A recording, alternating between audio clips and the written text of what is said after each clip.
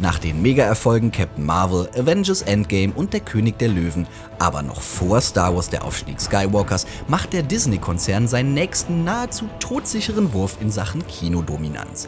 Denn die Eiskönigin 2 kommt.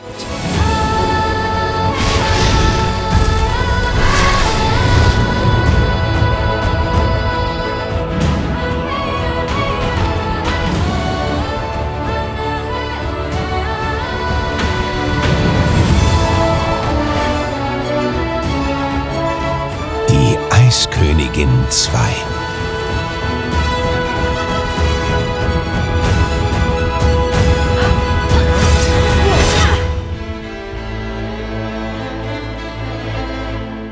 Dieses Mal kommt der Film auch in Deutschland ohne lustigen Untertitel aus und die bisherigen Teaser und Trailer stimmen einen dunkleren Tonfall an, als noch bei Die Eiskönigin völlig unverfroren. Aus den Trailern lässt sich bereits jetzt ziehen, dass Königin Elsa ihre magischen Fähigkeiten weiter austestet und sich ihr Umfeld Sorgen macht, dass sie ihren Kräften verfällt. Oh, äh, abgelenkt. Beunruhigt? Kam dir Elsa irgendwie komisch vor? Sie war Elsa? Ich höre immer diese Stimme. Stimme? Was meinst du? Rauf zu den Klippen! Ich fliege weg! So groß sollte die Sorge von Elsas Umfeld aber nicht sein, denn bei einer der bislang veröffentlichten Soundtrack-Previews hören wir Elsa singen, dass sie den Ruf des Abenteuers hört, ihn aber zu ignorieren versucht. Was uns zu einer anderen Sorge bringt, die wir aus den Trailern kennen. Einer der Steintrolle legt die Stirn in Falten, weil Elsas Kräfte wohl möglich nicht stark genug sind, um das Geheimnis zu lüften, das unsere Helden ins Unbekannte lockt. Du musst die Wahrheit herausfinden. Geh nach Norden, durchquere den verzauberten Wald, hinein ins Unbekannte was auch immer uns dort erwartet. Eins wissen wir schon, wie Disney bereits im Pressematerial mitteilt, spielt die Eiskönigin 2 drei Jahre nach Teil 1. Damit verging in der Filmwelt nur halb so viel Zeit wie in der realen Welt, in der wird ja seit Jahren von vielen Fans über folgende Frage diskutiert. Ist Elsa lesbisch oder sollte Elsa im zweiten Film als lesbisch enthüllt werden? Lange haben die Filmschaffenden über dieses Thema geschwiegen, aber im großen Schneesturm an Frozen-Informationen finden sich dann doch zwei Schneeflöckchen, die damit zu tun haben. So urteilte Regisseurin Jennifer Lee bereits 2014, dass sie keine klare Antwort über Elsas Sexualität geben will, da ihre Geschichte und die Interpretation den Fans gehöre und sie eben interpretieren sollen, was zum Beispiel Lass jetzt los bedeuten kann. Sie selber will dazu nichts sagen. In den Jahren seither hat man sich diesbezüglich wohl aber auch nicht umentschieden, denn diesen August erklärte Songwriter Kristen Anderson Lopez, wie schon im ersten Film wird Elsa nicht durch ein romantisches Interesse definiert, es gibt so viele Filme, die eine Frau darüber definieren. Und das ist nicht die Geschichte, die wir jetzt erzählen wollen. Worüber sich Filmschaffende aber geäußert haben, ist der Poster-Mini-Skandal des Junis 2019.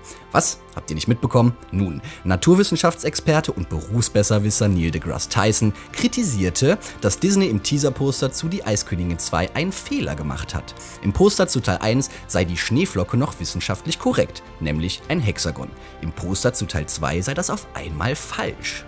Jennifer Lee erwiderte, DeGrasse Tyson hat recht, was nur bedeuten kann, dass auf dem Poster zu Teil 2 wohl keine Schneeflocke abgebildet sein kann. Seither haben Fans kombiniert, dass das Poster ein stilisiertes Veivisir abbildet, ein isländisches Symbol aus der Zaubertradition des 17. Jahrhunderts. Direkt übersetzt heißt es Wegweiser und in einem sehr alten isländischen Manuskript heißt es, wenn dieses Zeichen getragen wird, wird man sich niemals in Stürmen oder schlechtem Wetter verlieren, selbst wenn der Weg nicht bekannt ist.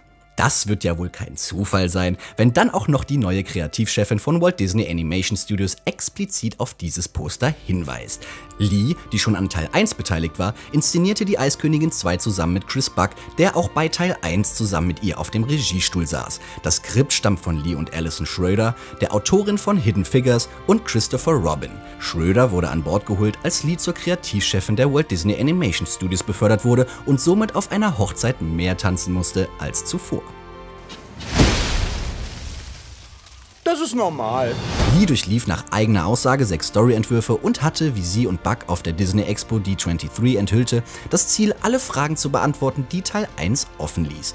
Wieso hat Elsa magische Kräfte? Wieso hat Anna keine? Und wo sind die Eltern der beiden hingereist, als ihr Schiff unterging?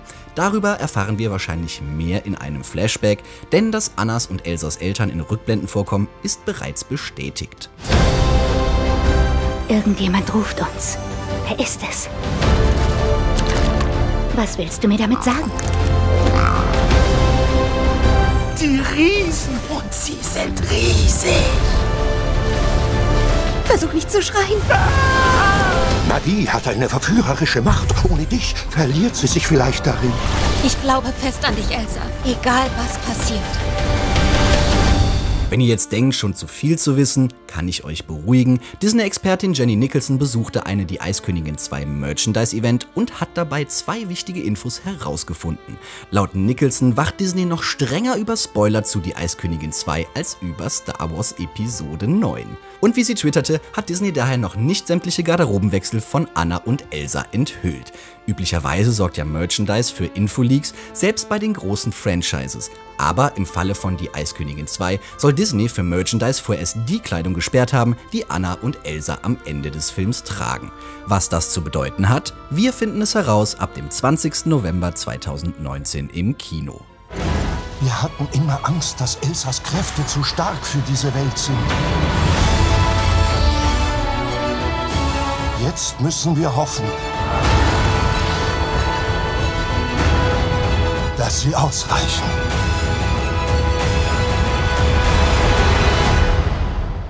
Ich werde nicht zulassen, dass hier etwas geschieht.